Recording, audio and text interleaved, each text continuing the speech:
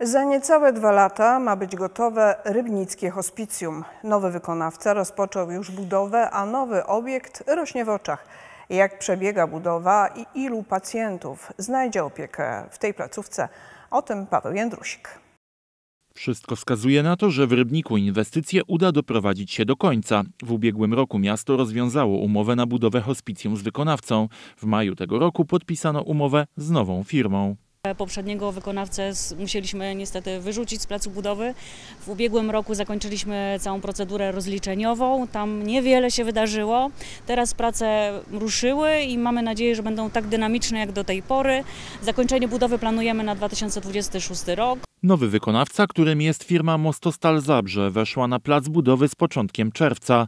Obecnie prowadzone są roboty szalunkowe i zbrojarskie ścian. Nowe hospicjum znajdzie się przy ulicy Barburki. Opiekę w nim znajdzie 30 pacjentów stałej opieki i 10 dziennej opieki medycznej. Przede wszystkim to ta budowa hospicjum pomoże rodzinom i samym pacjentom. Taka jest prawda, że w tej chwili rodziny są obciążone jakby tą opieką całodobową w domu nad pacjentem.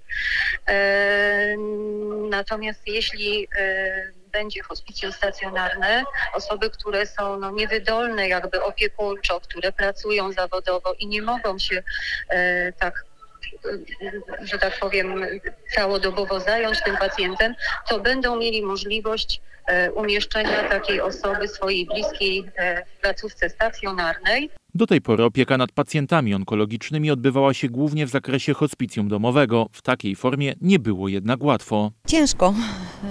Można powiedzieć, że te hospicja, które są w pobliżu, czyli hospicjum gliwickie czy, czy hospicjum żorskie, no te hospicja przyjmowały pacjentów. Orzesze jako, poradnie, jako oddział paliatywny również.